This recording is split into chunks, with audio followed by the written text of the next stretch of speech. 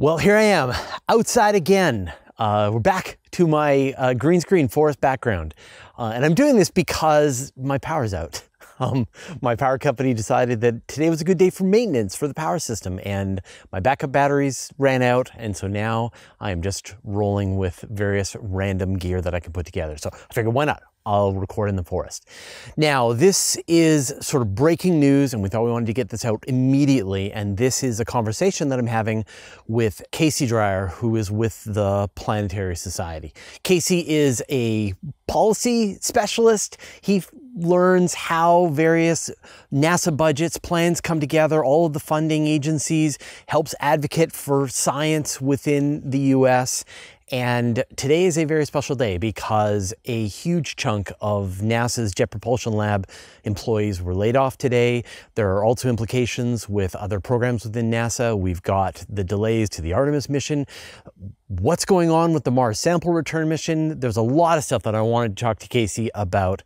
So here's my interview with Casey Dreier. Hey, Casey, it's good to see you again. Uh, you too. Uh, wish I could be here under happier circumstances, yeah. but always happy to be here. Well, it's kind of funny because we scheduled this like a week ago, and there were other things we were going to talk about that were changing and you know new issues. And then suddenly it turned into a much uh, more interesting and kind of darker story. And so we decided to make this happen immediately. So, okay, so the big news, the thing that's breaking right now, today, is that NASA JPL announced last night that, and with the most understated press release title ever, it was like note about jobs at JPL or something. But the reality is they're laying off a whole bunch of people at NASA JPL. Yeah, about 8% of its workforce plus, and this is, I think, important, hundreds of contractors on top of that, uh, that have short-term contracts but still contribute a lot to a various number of missions and of course mars sample return and the functioning of the lab. So a good number of people very rapidly right? This is all happening in a single day. Uh, layoffs are happening pretty much as we are recording this right now. Yeah. And so like like last night when we got the press release they didn't know who was getting laid off. They just knew that a big axe was falling now we're starting to get a sense of who's actually getting laid off and who's sticking around. Yeah, we will. We I think the JPL employees are learning this right now too. yeah. I'm sure the management knows. And yeah, I mean, how do you how do you clean out 8% of your workforce overnight? And you know, this hasn't been I guess there are degrees of surprise, right? It's when it happens, of course, it's a shock. This hasn't been unprecedented. This has been stirring for a while. JPL started laying off contractors last month. Uh, JPL's been under a hiring freeze since September. Uh, they've been pulling back on expenses such as travel and, and major purchases. Things have been hemorrhaging and, and been very tight for months, all basically tied back to significant uncertainty over Mars sample return budget, of which JPL is the major NASA uh, facility servicing that and all of the uncertainty around the future of the mission, political uncertainty, and and really though at the end of the day, a stalemate between two chambers of Congress that is driving why we're getting layoffs, right? You know, very sudden layoffs rather than kind of a more orderly uh, wind down. And and so, I mean, you have been reporting positive news year after year and you've been like genuinely surprised at how the funding for NASA has not just been what NASA was expecting but in in fact a little more like a little like why don't you add a couple more goals? When did that funding tap change? Uh, well this year really changed and yes you're right. NASA's been on a bull run in terms of its budget. It's I think longest the longest sustained duration of regular budget growth. You know, not huge. You know, we didn't see Apollo level increases in NASA, but we've seen steady three, four percent growth year after year since 2014. You know, so almost 10 years.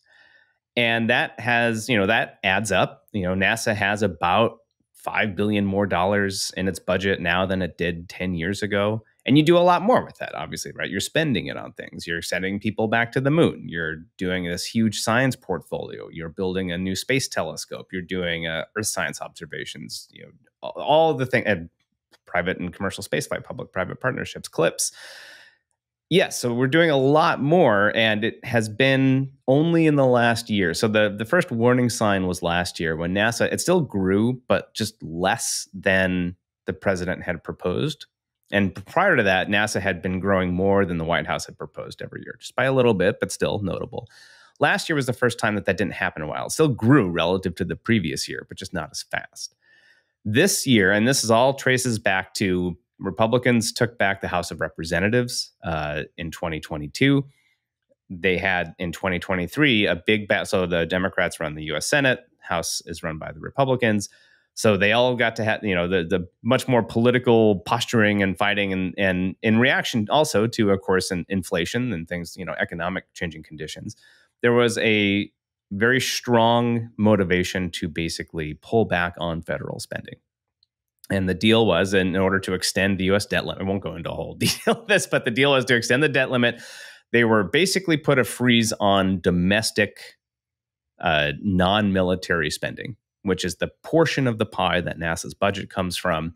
So the pie shrank, and so everyone's slices got smaller. On top of that, this has been a perfect storm for NASA in a way. Uh, a number of stalwart, long-time, and very influential supporters in Congress retired. So you had a huge turnover, almost a complete turnover of the leadership of the appropriations committees in both Senate and the House and subcommittees that fund NASA specifically. And of the people who came in, none of them have a NASA center in their state or district. So that's a huge. It used to be, you know, like the head of, you know, senator of Alabama, right? Senator of Florida, senator of, you know, what, you know, whatever, uh, California, right? That had big JPL in it. That's not the case now we have senators from New Hampshire and Washington State and Kentucky and places that don't have the strong NASA connection. So the parochialism, right, that local political connection has shifted substantially in right. terms of where NASA's political support comes from. And they'll and add that all up together. It's it's tough. Yeah, and like historically, like I think, you know, people from various political affiliations are, you know, their their hackles are going to be raised at this point. But I mean, space, everybody loves space. Space is bipartisan. Everybody from, you know, you have proponents who may battle one another for all kinds of various legal issues who will join hands and vote for various space appropriations. It, it felt like like the one final non-political thing in in the U.S. You know, it, it is, and it still is, and, and and that's thanks for for highlighting this because this is an important distinction this isn't the function of a sustained political attack on NASA. This is the consequence of larger political trends that impact things like NASA. And so no one's out to get NASA. And as you point out, the, the, the political dynamics are far more complex than your standard right and left issues in the United States. Uh, Republicans tend to be very generous to NASA over the years. Uh, the exact areas, right, depend. It tends to be more human spaceflight exploration stuff rather than things like earth science. Democrats are more earth science, but in in you know writ large, they're both very supportive. The problem is is that it's not so much an anti NASA or anti space. It is a it's low on the priority list of the people in charge, and that's the shift. So very few people are willing to go to bat for NASA when the overall pie shrinks, everyone starts chasing their piece. And again, at this point, it comes down to at the end of the day, a lot of NASA tends like, is it in my district? Is it in my state? Do my constituents depend on it? Because that's how you get reelected. And if that's not the case, then it becomes harder, you know, the the, the politics change. And that's what's driving a lot of what we're seeing. So NASA eh, announced that they're cutting 8% of their workforce plus all of the contractors. Do you get a sense like how many people is 8% of their workforce and how many contractors are i don't know like like it feels like that part's being kind of swept under the rug but that's probably a large group of people too well the, from what they've said publicly and i'll just emphasize i don't have any secret information. I'm going by by yeah. public stuff too. Yeah. Uh, uh, they're laying off approximately 530 people today. Right. so that's about 8% uh, and then you, the number of contractors they've they've mentioned again in these public statements it adds up to about 140 150 so you're looking at in in writ large roughly 10% of what it seems to be the you know if you add up contractors. But it's hard to say. And contractors are on shorter time scales That's not exactly clear you know what uh, how long their contracts were originally. But I mean, these people, it's like the day of, oh, yeah, you're no longer working for us. Sorry, you no longer have access. you know, that's you, you have very little protection, and that's just you know you're a contractor. That's how you how you work. But it is, yeah, it's a substantial part, and this is you know the, without precedent in recent memory uh, in terms of what's happening at JPL. And I think just to to clarify here, this is very much right now a JPL situation.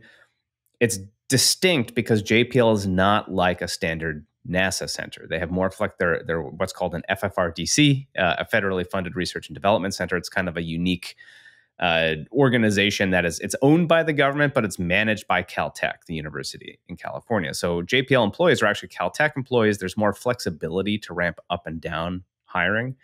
Uh, but they have less protections. Uh, so you don't see this happening at other NASA centers because NASA centers otherwise are civil servants protected by a variety of federal statutes, unions, and all these a variety of other issues. It's much harder to reduce the force uh, workforce in NASA centers. That does not mean though that other NASA centers are not feeling the pinch. I think they're just feeling it in different ways. It's just not as public. Um, but we, we just have less to say because this is obviously the big newsy thing. But you look at a place like Goddard, which had until recently, as part of Mars sample return, a billionish level plus component of it, the CCRS, the containment capture uh, system, that was going to fly in the European uh, uh, orbiter, that was functionally ramped down to nothing. And so there was a lot of people working on that that now need to be absorbed into other parts of Goddard. Uh, we know, we've heard from people, this has not been stated publicly that I've seen, but we've heard from people at Goddard that contractors are being laid off there too. Um, and so this is, you know, we're seeing it at JPL. It's likely happening to some degree at other NASA centers as well because of MSR, but also broadly be this broader congressional stalemate in terms of NASA funding. Now, do we have a sense if whether there is like a, a shaving and of of all the different missions and groups and all of the capabilities, or are various missions being paused and entire teams are being laid off?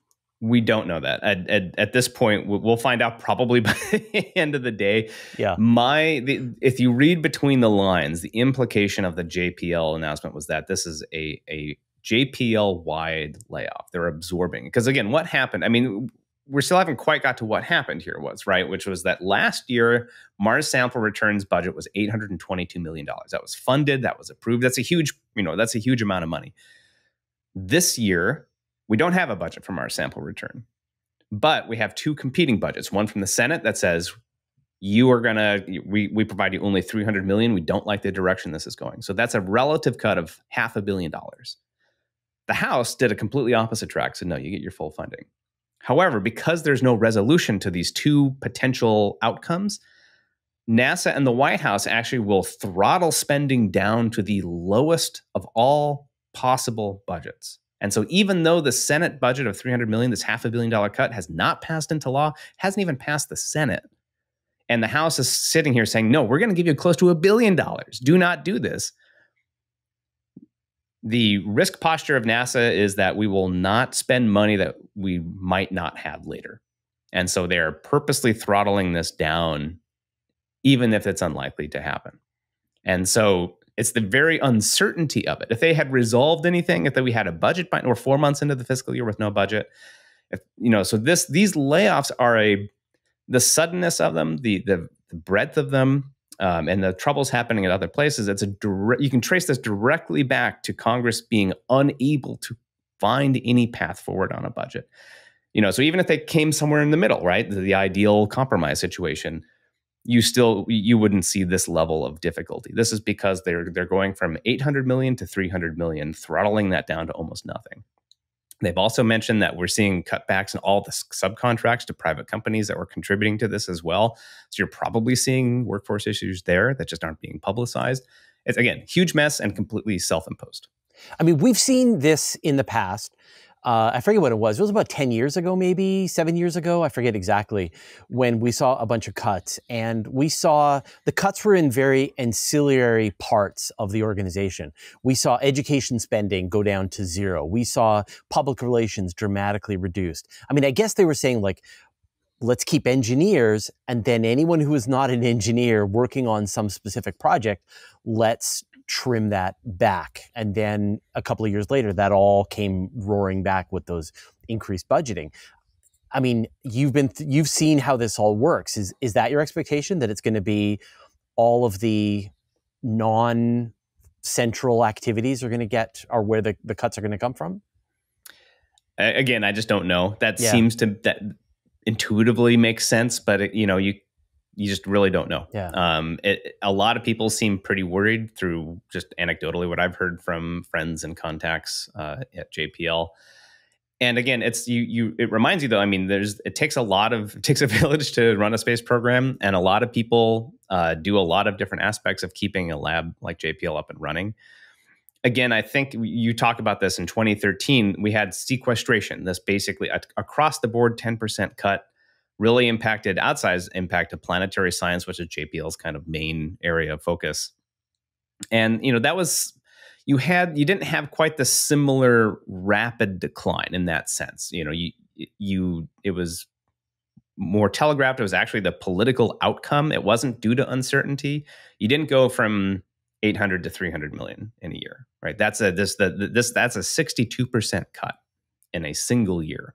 So this is much more this is why I think this is more visible. But yes, to your point, this is not the end of the story, right? And we do see anyone who studied NASA's budget history, um, which is what I do professionally, essentially. There, there are good and bad periods. We we are coming out of a wonderful period, and I think in a sense it's almost a shock because we've been in a good period for so long that we're learning to accommodate this and deal with this, and to see remind ourselves, oh, bad thing you know there are consequences for not spending money. This is not just these don't just go away. People's lives are impacted by this and missions are impacted by this. There's a couple other i'll just add a couple additional pieces of context here.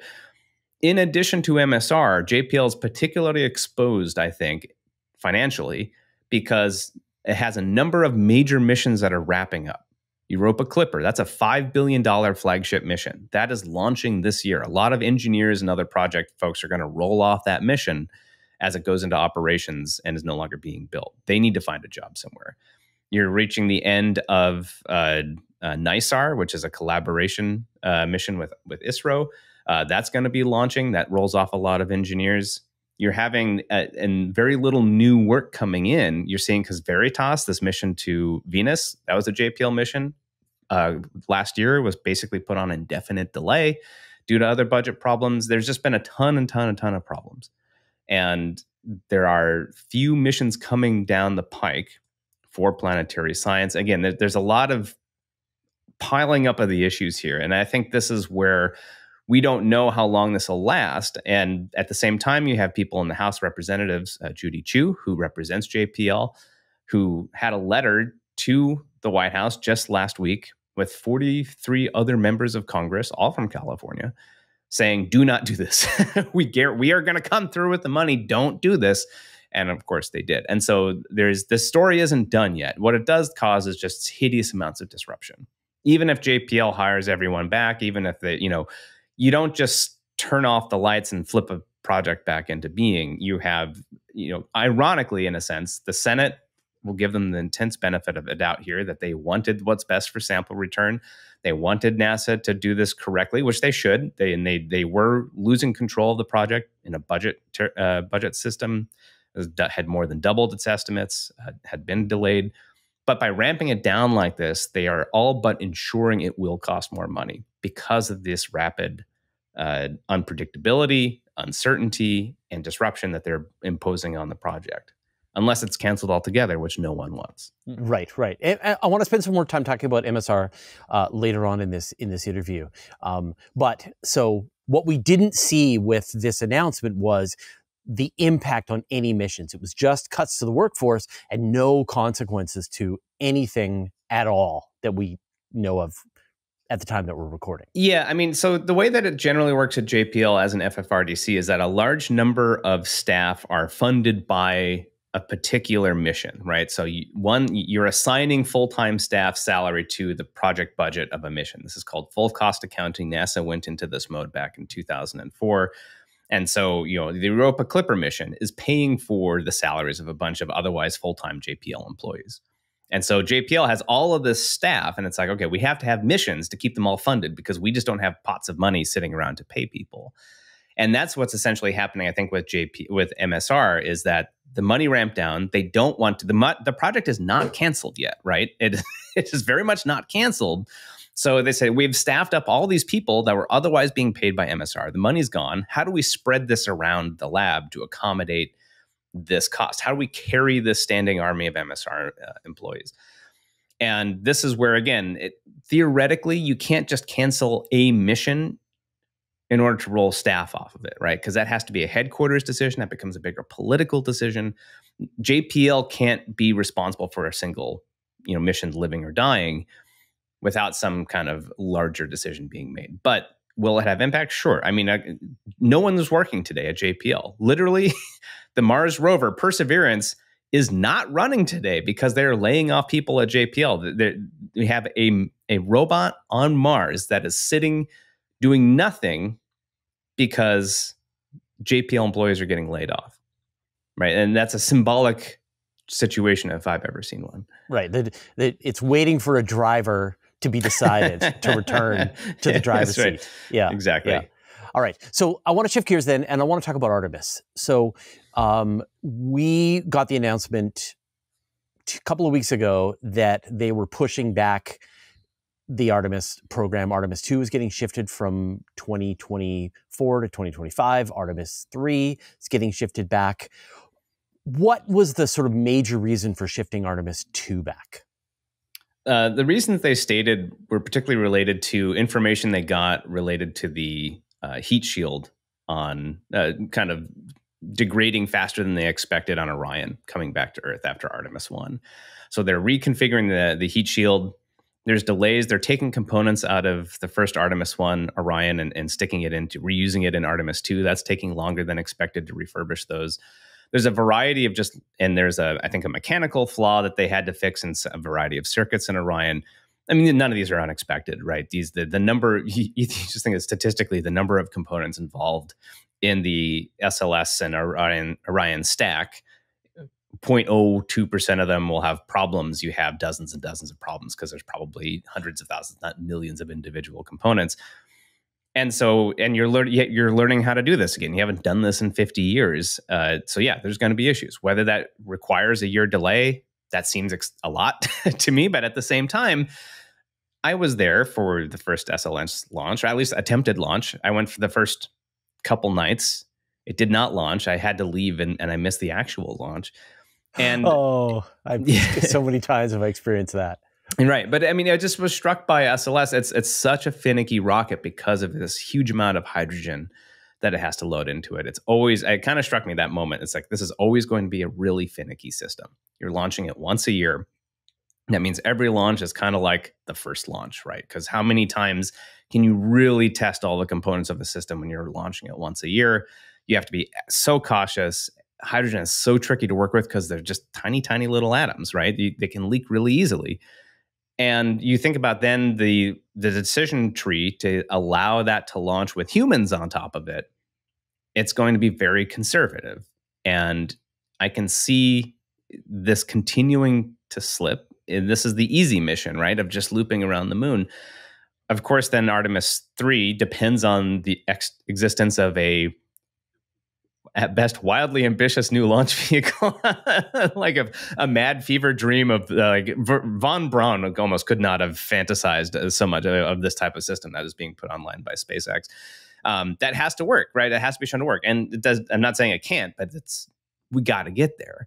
Um, that's not happening next year. And so there's a number of these major miracles that have to happen on top of you know even figuring out how to use the sls and orion which they're yeah. still going to be very much in the process of. Yeah, and I mean that that like we discovered some problems with the heat shield. We want to work on the ventilation system. There's some power problems. We want to upgrade some components. We're going to shift it from 2024 to 2025. That all makes sense. You know, like so many delays. Let's get it right. Let's be safe. Sounds good.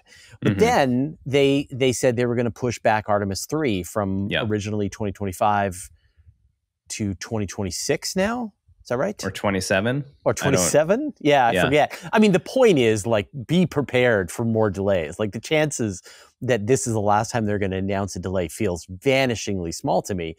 And as you said, it is, you know, you were going from, you take this giant rocket that's kind of finicky with hydrogen, you send it out around the moon, and then it comes back. And then, you know, it's essentially Artemis 1, except it's got a, an easier flight path, but this time it's got humans on board.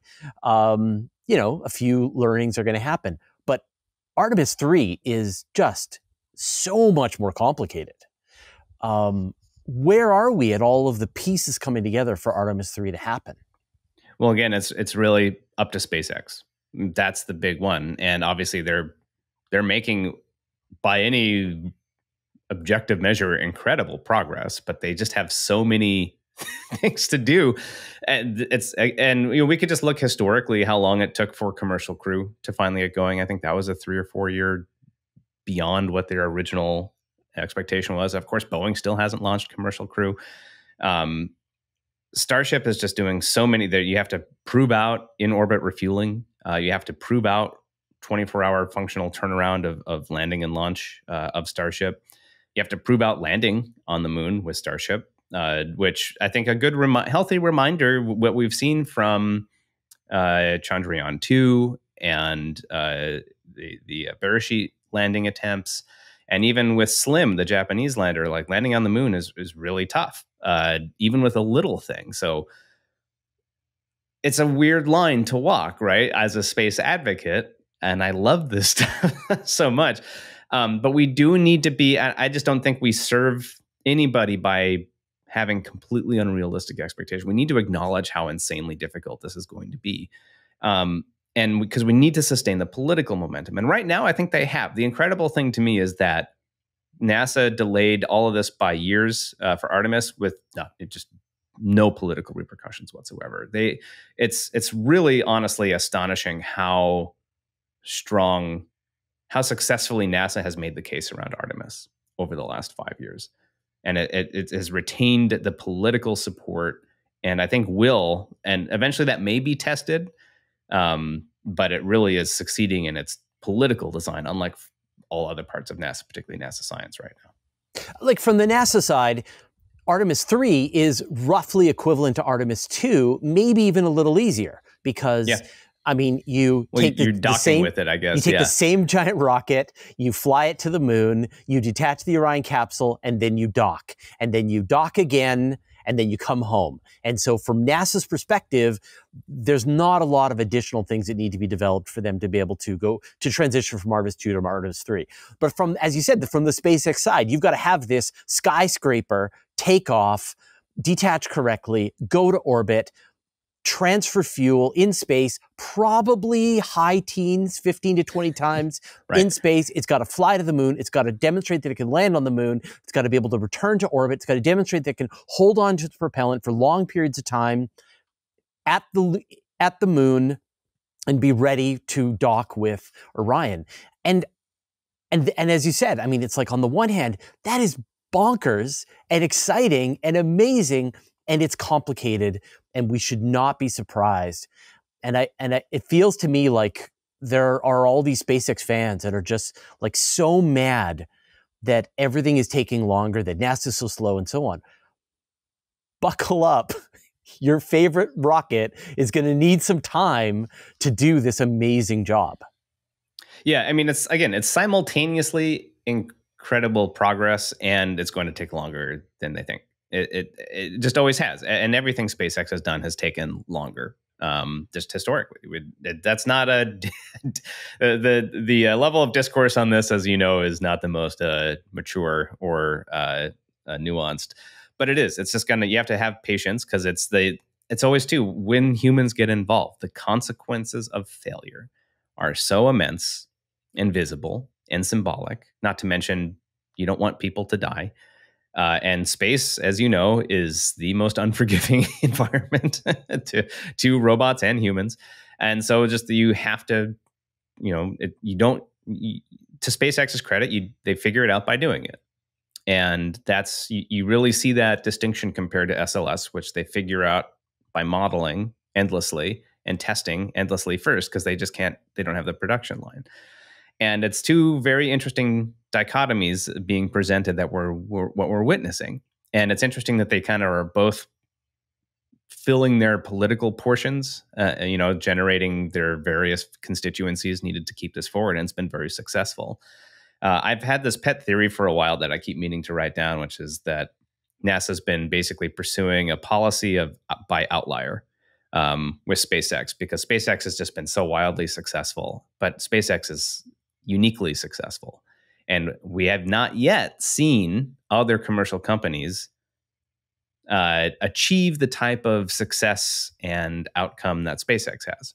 However, in, NASA in America, I mean, you're starting. I mean, it hasn't happened yet, but China is going. Well, there's a lot of yets in all of this. Yeah, right? exactly. And yeah, yeah, yeah. So yeah. that's, I mean, and launch is, is obviously a distinct thing that has a huge commercial market but we're talking about space. So, I mean, my point is that NASA's policy has been that every company will be a SpaceX. And so, commercial lunar payload services, commercial uh, to the surface of the moon, commercial whatever, right? You're they're they're deploying it and fixed price contracts too for a lot of Artemis.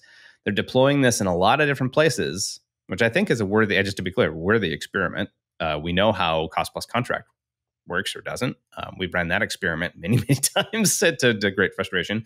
Um, but I think it's just it, it's a reminder we don't necessarily expect just because something becomes commercial that it will succeed. Uh, we actually don't know. We're running a huge uh, test on it right now.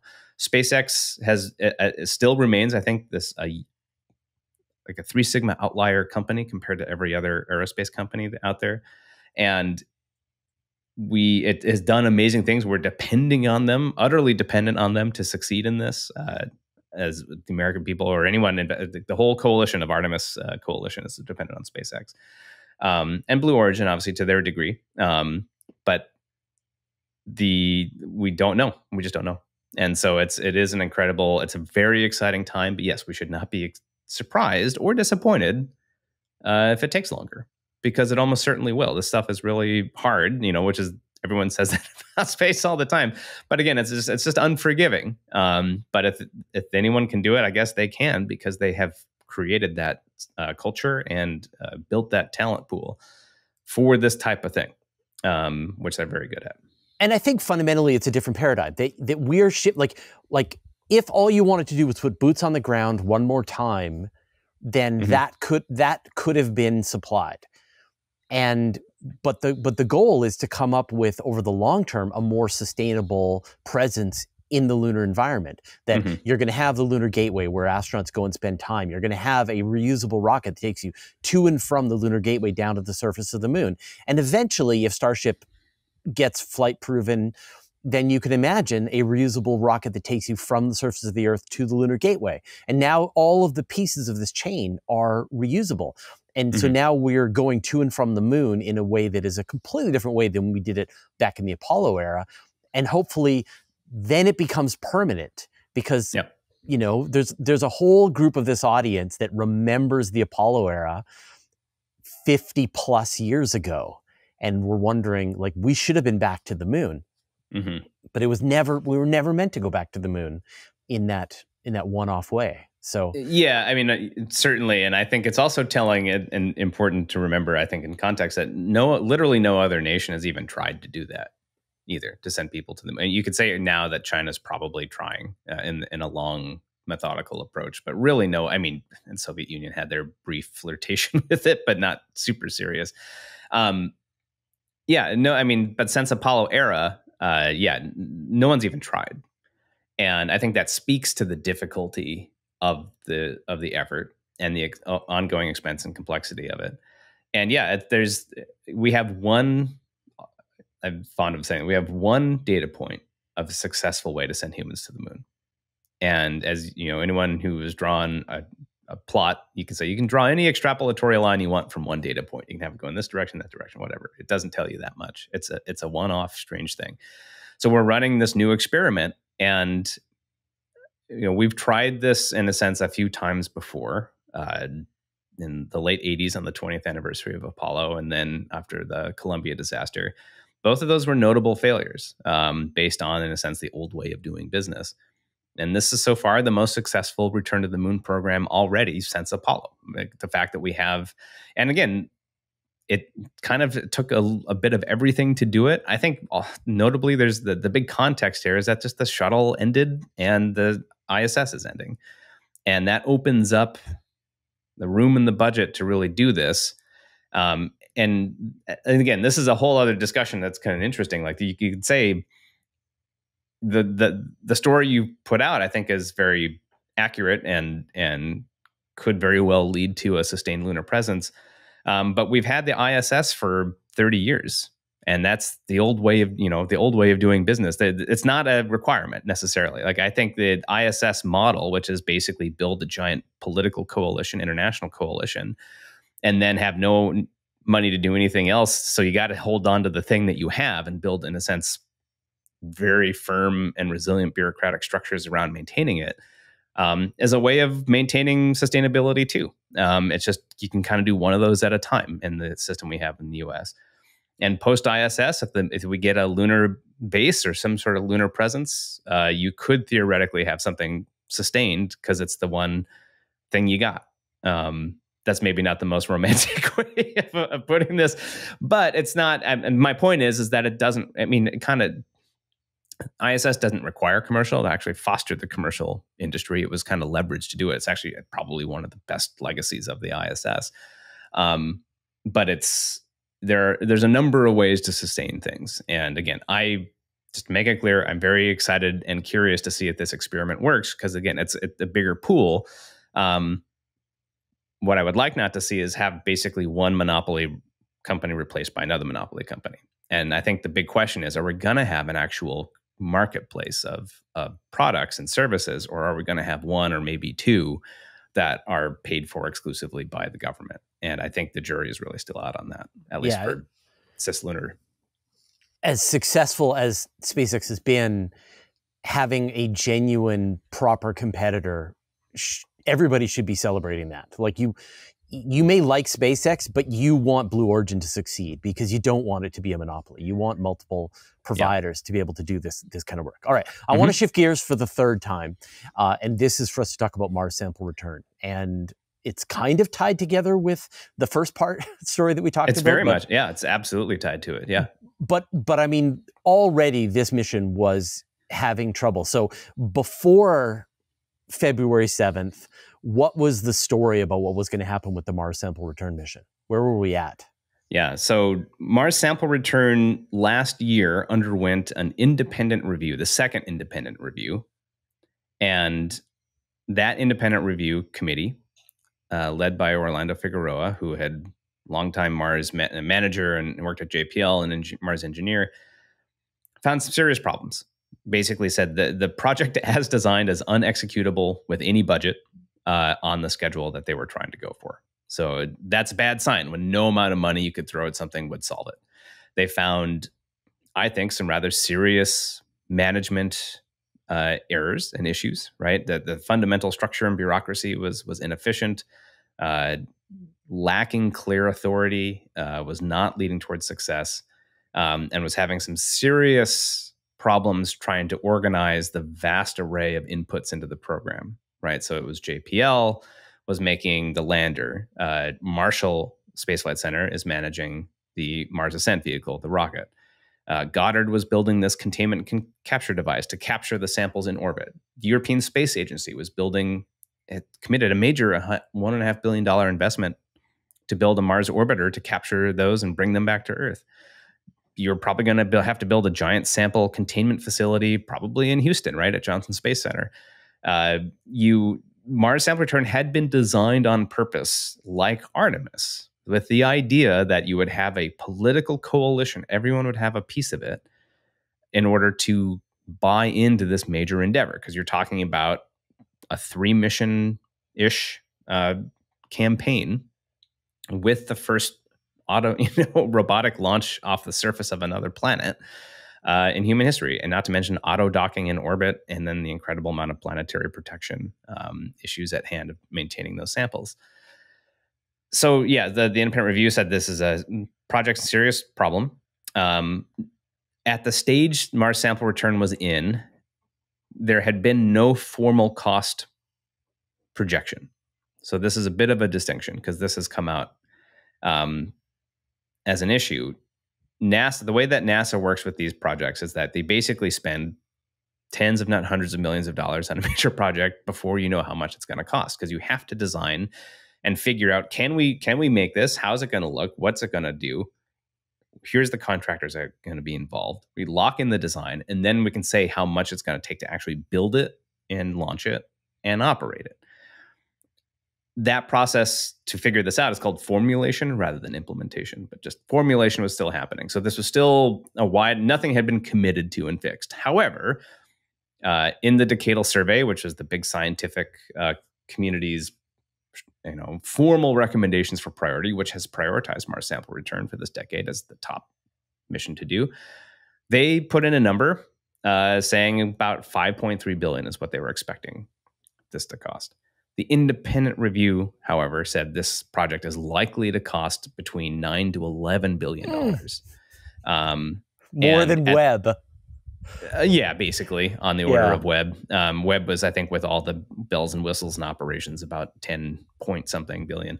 Um, yes, a lot of money. Um, and uh, you know, at this early stage, easily could see that going higher. Right? It's when the rubber hits the road and you're building the thing. Um, and why is that happening? I mean, in addition to the management problems, I mean, the problem is is that you have this highly integrated, not you know, uh, system. You're, having multiple connections between, you know, the launching vehicle, the Perseverance rover, the European-made orbiter. They all have to connect and fit perfectly together in design. And, and a change in one, right? If you change the, the diameter of the sample container, that holds your samples to launch into space. You're changing the volume on the spacecraft of the ESA rover uh, uh, orbiter, and you're changing the sample containment system made by Goddard. So, anytime a change made anywhere else, it has these rippling impacts throughout it.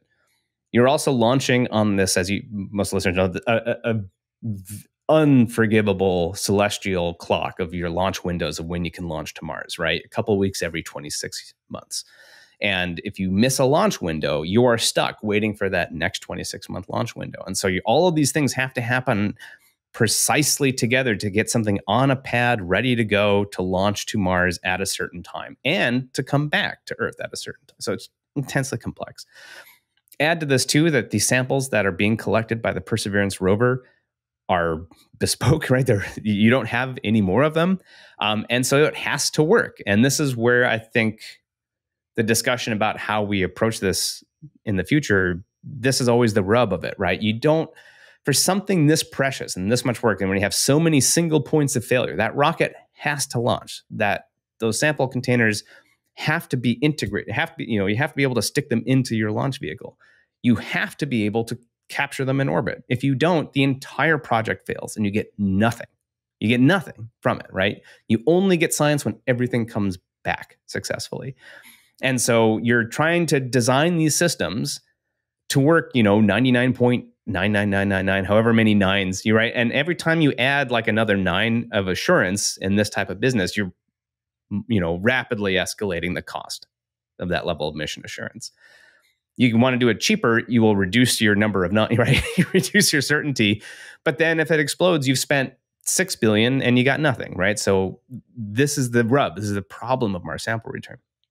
Um, so again, so the problem, uh, so this review comes out, all these issues raised, very legitimate issues. I don't think anyone disagrees with them.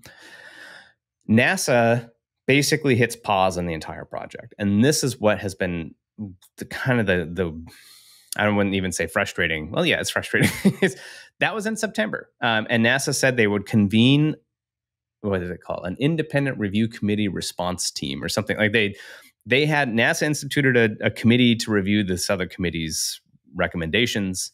Um, but what has been happening has not been public. It has been all closed door and has been going on a surprisingly long time. And so, all that we know, in a sense, is that Mars sample return was in major trouble. And NASA is thinking about what to do, but has not said what it's going to do.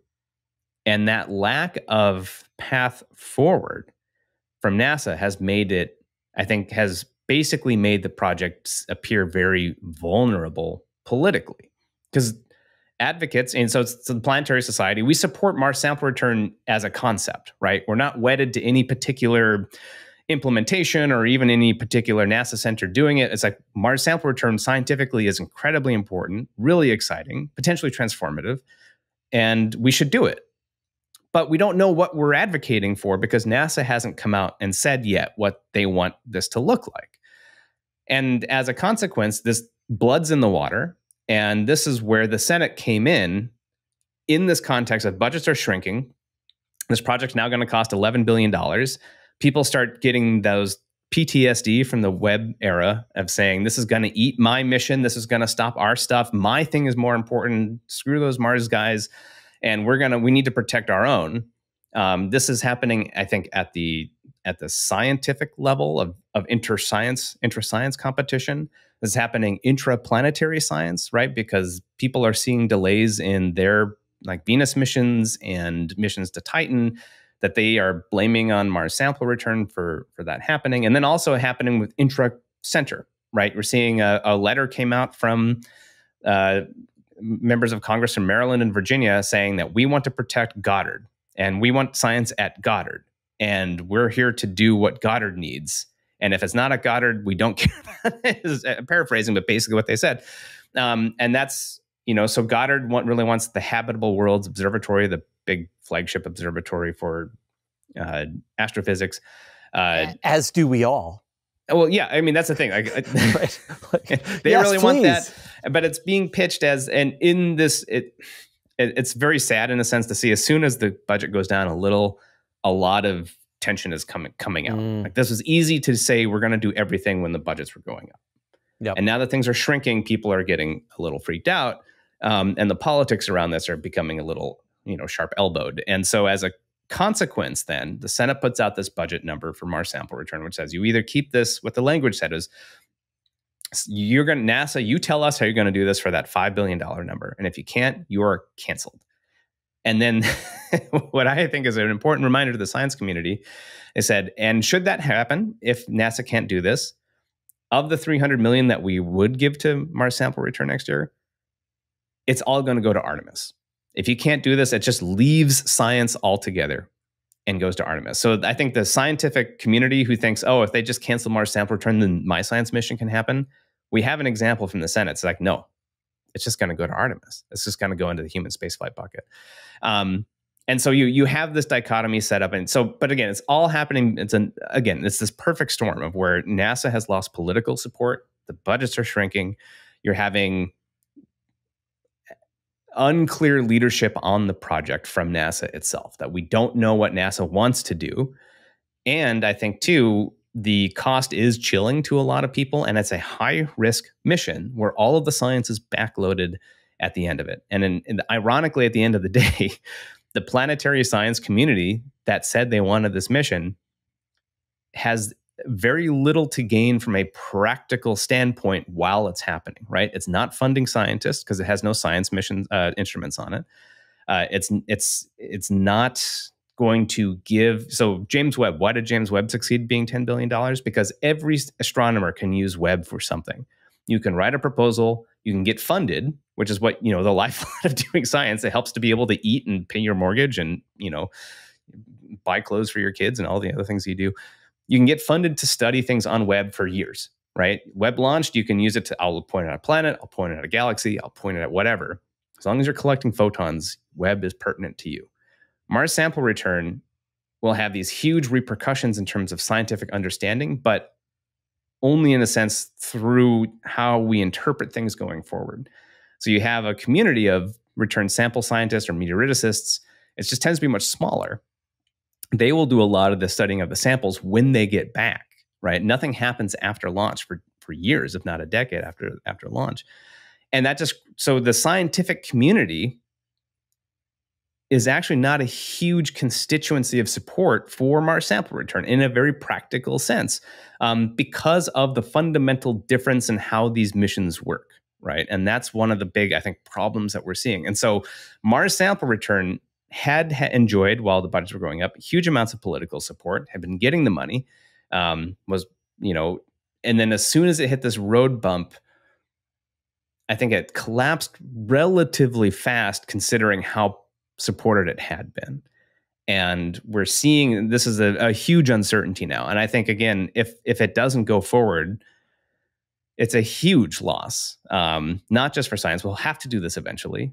So we're just pushing the problem down the line.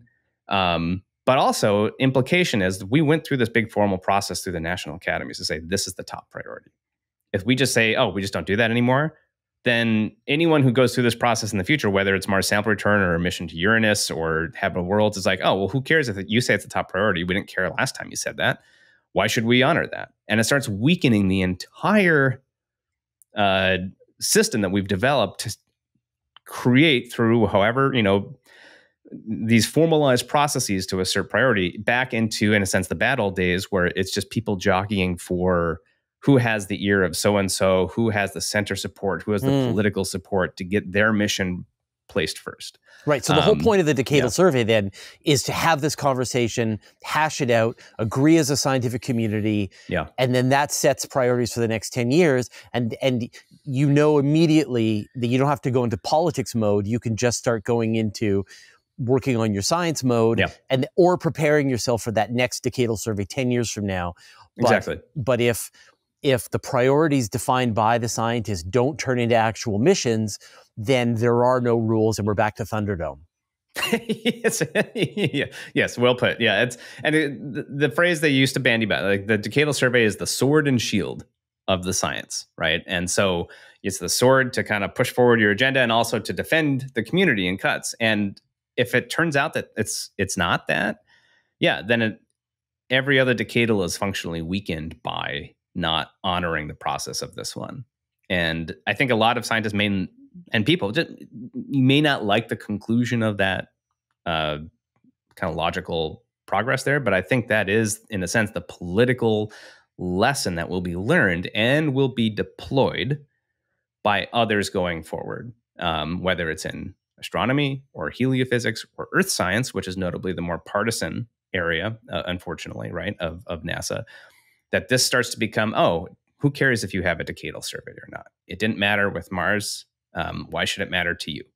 And this is where i think the scientific community needs to think in a bigger picture about its long-term support and stability even if uh, people aren't super excited personally about mars sample return because of all in a sense the practical things that i outlined earlier right and and I think like at, at, the same time we've got this I don't know if it's sword of Damocles, but the Chinese, as with the Artemis program, there is a timeline that the Chinese are planning to send humans to the moon by 2029, and for all of their pieces are coming together: new lander, new orbiter, uh, two new, you know, massive rocket. All of the pieces are in place that, and plus all of the precursor missions that have demonstrated all the fundamental technology. It feels like they are on track to meet their goal 2029 2030 we should see them land on the moon. And so if starship is delayed if artemis takes more time maybe we don't see the us land 2030 maybe it's 2031 now they can always say well we did it 50 years ago 60 years ago. So it doesn't really matter. You know we already were the first on the moon but you've got this same scenario happening with Mars Sample Return, which is that the Chinese are planning their own version of the Mars Sample Return mission, probably launching 2028, probably returning 2031. And that's on schedule. Tianwen was a demonstration of the technology to show that they can land on, on Mars safely, deploy a rover, deploy a lander and now next and and then all the technology with the with the lunar missions is demonstrating that they can build ascent vehicles bring samples back to earth. They're doing tianwen 2 is going to be an asteroid sample return mission which is one step again you're seeing this step by step incremental approach to solving this problem. Theirs is nowhere near as complicated as as mars sample return mission is going to be but i feel pretty confident that they're going to pull it off. They're going to move through the steps and launch their rocket in 2028 and have samples back on Earth by 2031. And that is something that that nobody has ever done before. Do you do you feel it feels to me that that this is going to be delayed. It's going to sort of sit in a quagmire for a couple of years and then people are going to panic. when it's when they realize that yeah. they're not going to get their samples back in time to beat the Chinese. Yeah, it's that whole. It's going to be really interesting to see how this moves forward because yes, and and I believe that the Chinese uh, space uh, program's approach to sample return is essentially a grab and go. Yeah, so yeah, much simpler. Simple. They yeah. they land, they grab whatever's there, and then they come back, and yeah. it's it's maybe a helicopter.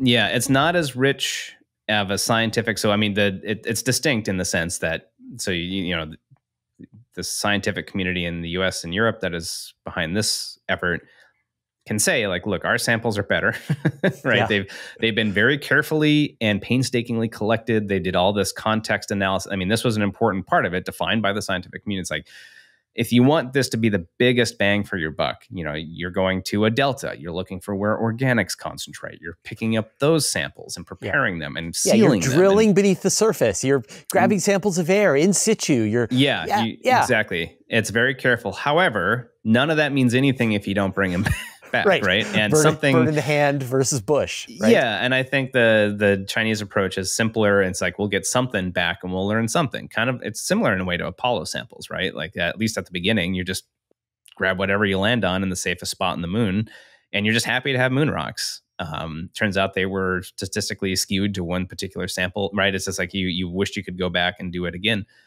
but again, you still have something. Um, the interest so we saw bill nelson nasa administrator has not been shy to draw china as a competitive threat and using space as a means to to offset that.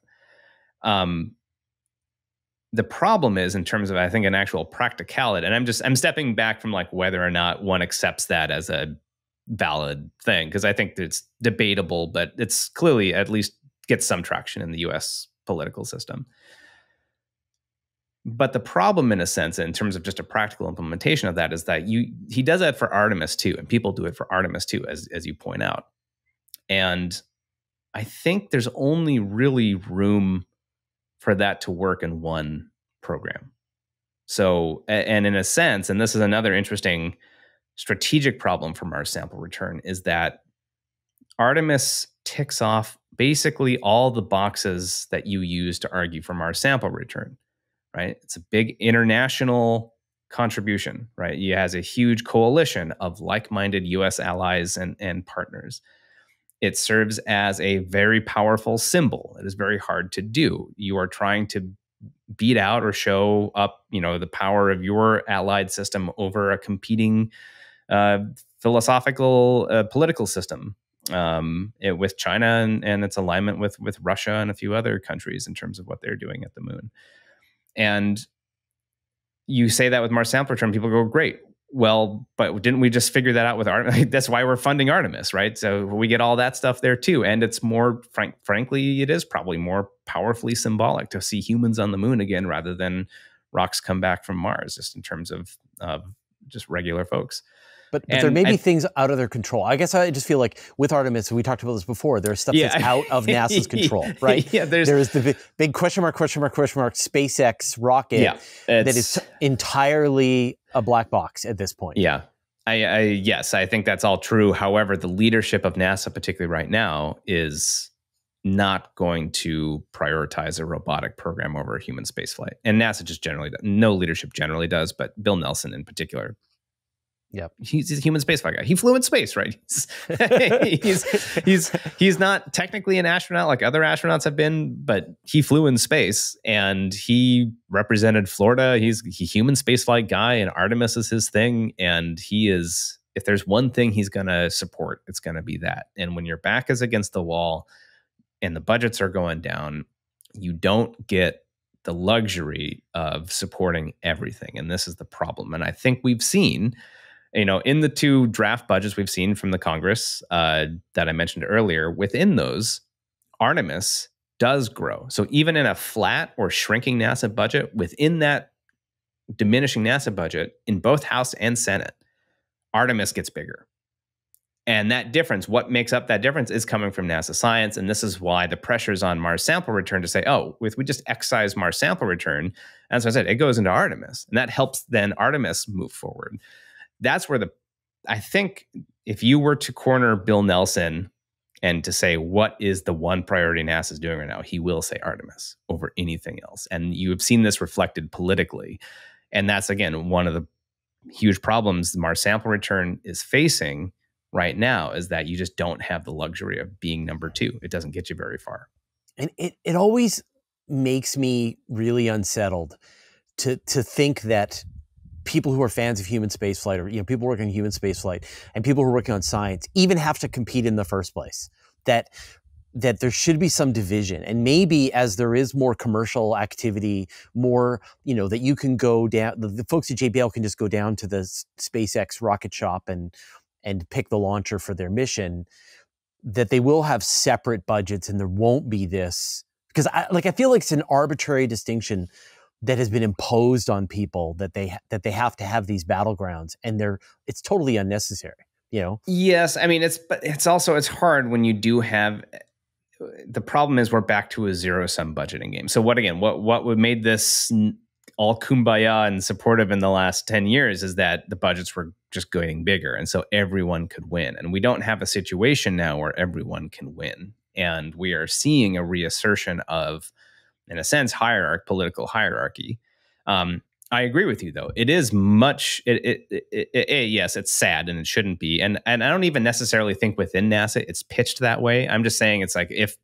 the leadership has to support one thing, they're going to support the big thing, right? Which is the the human spaceflight project. Um, but you have it's a little more nuanced i think i think with mars sample return because it actually fits really really well into human spaceflight plans of going to mars right? If you want to go to mars it helps to know how to launch off the surface of mars right? Uh, that's like let's test that out. Um, and we have now a congressionally mandated moon to mars direct uh, division within the human spaceflight directorate uh, that I think should probably be kicking in. That to me, a, a, a, good path forward would be for the human directorate to jointly fund Mars sample return to take some of the pressure off of science um, in order to validate and demonstrate key key technologies of how to get humans back from Mars safely. Uh, what's the dust environment like? How does that impact a rocket? What's the performance of a rocket like taking off from the surface? That's been sitting in sub zero temperatures for two years. You know, how do we manage and launch things safely? What kind of redundancies do we need? What problems and difficulties are there in orbit to, to dock around a planet and around a separate planet? Um, with a 30, you know, 15 to 30 minute light communication distance from from Earth all these things would be really wonderful to know and we have an opportunity to test them that then also serves a profound scientific interest um, and, and, so and that's yeah. how the and, and i think back to our conversation that's how the chinese are seeing this mm. right they're seeing the mars sample return the, or the moon sample return mission as part of this larger demonstration of technology to bring humans back from the moon that that their first part of the, the Tianwen 3 is going to be this Mars sample return mission. But as you said, this is testing the technology to then later on bring humans. You know, they are also expecting to start sending humans to Mars in the mid 2030s, maybe early 2040s. So you're exactly right that that I, I, never even thought of it, but I think you're you're exactly 100% right that that Mars sample return is actually a precursor technology to sending humans to Mars. And if you can't nail that down and at least know within an order of magnitude how complicated and what this is going to cost, you're never going to bring humans back from Mars. Yeah. Again, it just it makes a ton of you'd have to do something like this anyway. Yep. Right. Um, and so we might as well do this now and do it with the scientific support and impetus and potential. Again, the benefit is, is just enormous.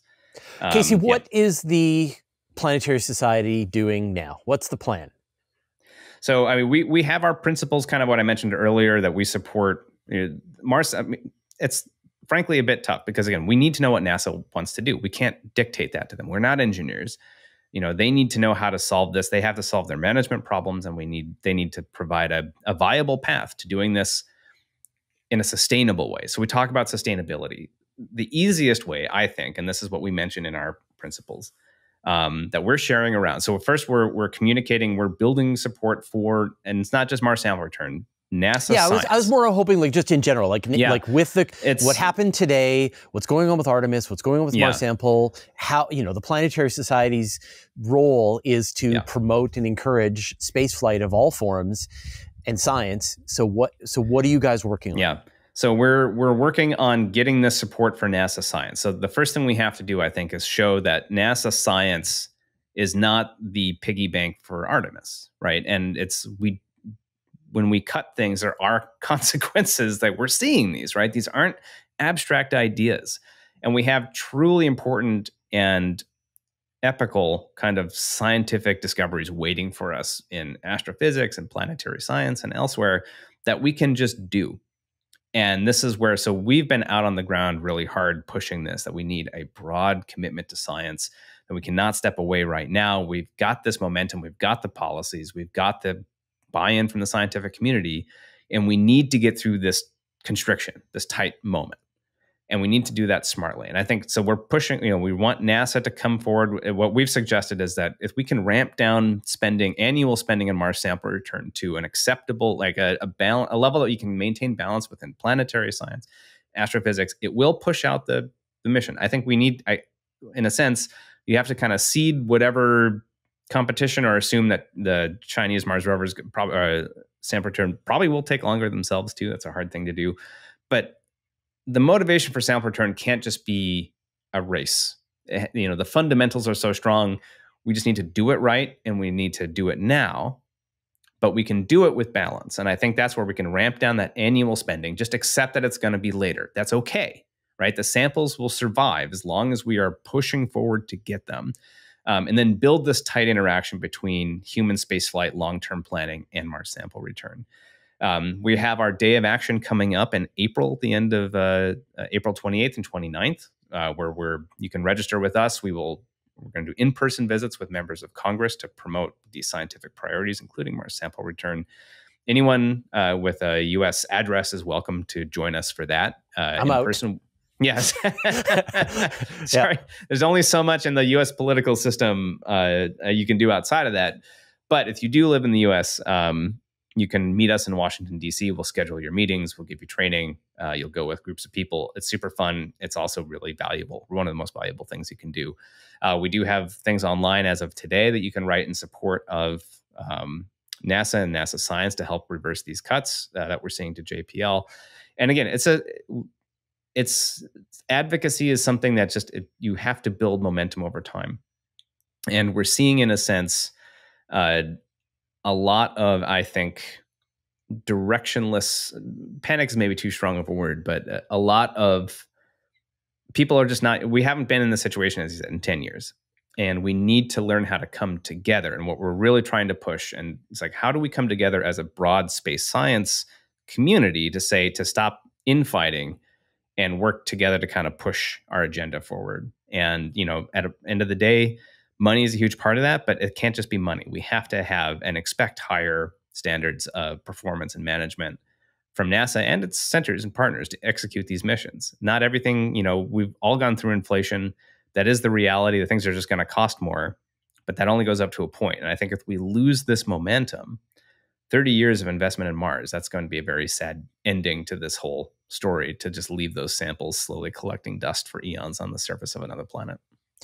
Casey, thank you so much for your time. Of course, you know, you can find your work uh, at the Planetary Society. You blog regularly. You are a regular guest on the on the and my podcast. podcast. Well, I, am not just a guest. I host our uh, a monthly version called the yes. Space Policy Edition, yeah. uh, which you can just catch on our normal planetary radio feed, or you can subscribe directly to it. Just search for Space Policy Edition. Yeah.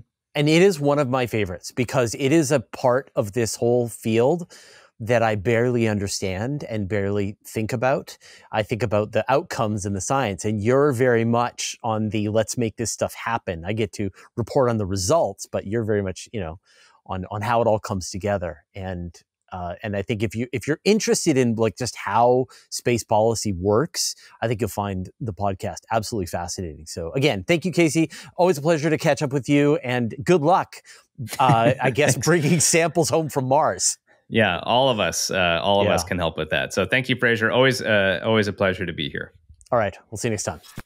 I hope you enjoyed that conversation with Casey Dreier, and definitely go and sign up to Casey's podcast or just Planetary Radio in general. It's an amazing podcast. Now, I'm going to talk some more about my thoughts about this, but here is me from a previous video thanking our patrons. Thanks to Paul Rohrbach, Abe Kingston, Hey Twilight, Dougie Stewart, Stephen Krasaki, David Richards, Mark Ansis, Joel Yancey, Antonio Lofilara, Dustin Cable, Vlad Chiplett, Modso, George, David Giltonen, Andrew Gross, Jeremy Mattern, Josh Schultz, and Jordan Young, who support us at the Master of the Universe level, and all of our other supporters on Patreon. Well, this is kind of a tricky time in space exploration. I think as, as Casey said, we've gone through like a decade of the good times where budgets kept going up and everybody kind of got what they wanted and things were good. And suddenly through, because of political reasons, just because of budgeting issues, things are tightening up a little. And we're starting to see that this is these lean times where hard decisions have to get made. People may lose their jobs. It's going to be tough. And I think the next couple of years, you're going to see more of this sort of belt tightening and various missions. We're going to see what things are going to be stripped back. Hopefully, it won't be as bad, and hopefully, the budgets will return and things will grow and science policies will be fulfilled. But just like prepare yourself emotionally for uh, what it's going to probably be a tricky couple of years. All right. Uh, We've got lots of interviews and information about space exploration in general, including some of the interesting missions that might be on the cutting block. Uh, so I'm going to link to a couple randomly here. All right, thanks a lot. We'll see you next time.